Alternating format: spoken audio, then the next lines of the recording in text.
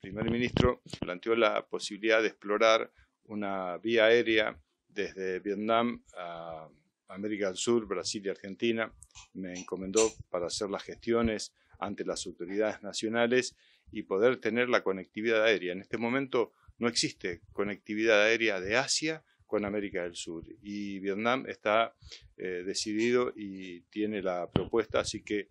al retorno, cuando vuelva en Argentina, hablaré con el ministro de Turismo y con el presidente para interesarle de este planteo que ha realizado el primer ministro. Se mostró muy interesado en poder gestar y generar con provincias de Vietnam una relación intensa con eh, las provincias de la región centros. Habida cuenta que esta es la segunda vez que en un corto lapso eh, viene otra emisión de la región centro. Habíamos estado en 2018 y a partir de ahí hubo un crecimiento exponencial de eh, las exportaciones de la región centro. Pasó a ser el segundo destino de exportaciones de la provincia de Entre Ríos, Vietnam. Estar acá obviamente favorece poder seguir esa senda de crecimiento y poder interactuarlo como lo propone el primer ministro con otras provincias, esto genera obviamente lazos que fortalecen esta relación. Hay productos, algunos agrícolas que se producen en, Vietnam y que eh, en Argentina no tienen mercado y que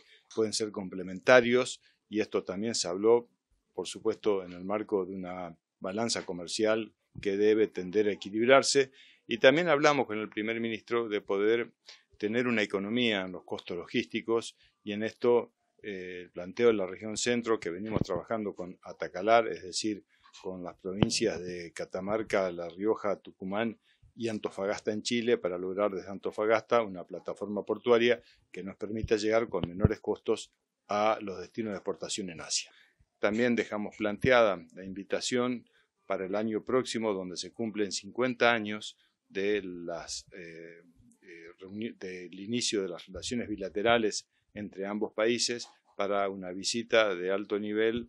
eh, vietnamita en eh, Argentina y por supuesto en la región centro para ver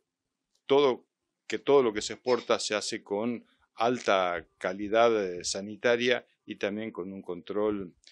medioambiental que asegura sanidad alimentaria de los productos que llevamos a Vietnam. La reunión ha sido